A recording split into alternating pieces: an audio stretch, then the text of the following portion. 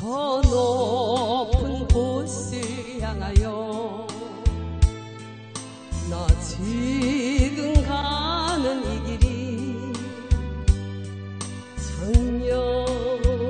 외롭고 쓸쓸하지만 내가 가야 할 인생길 저 높은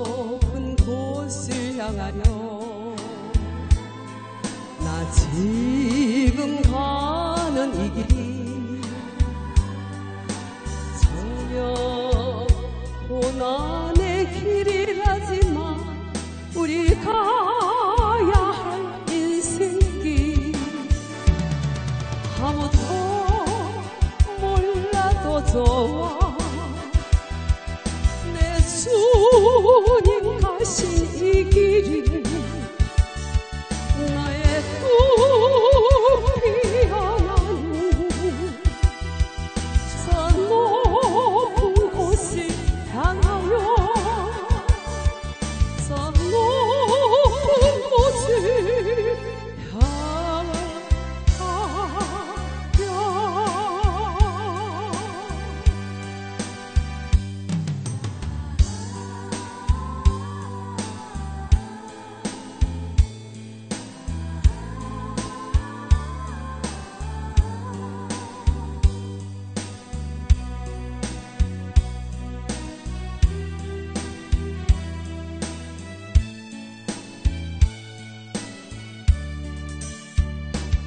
자유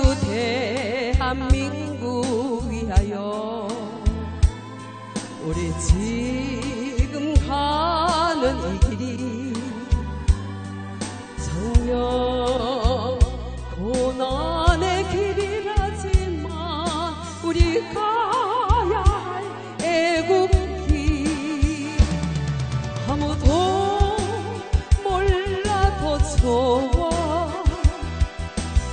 주님 허락한 길은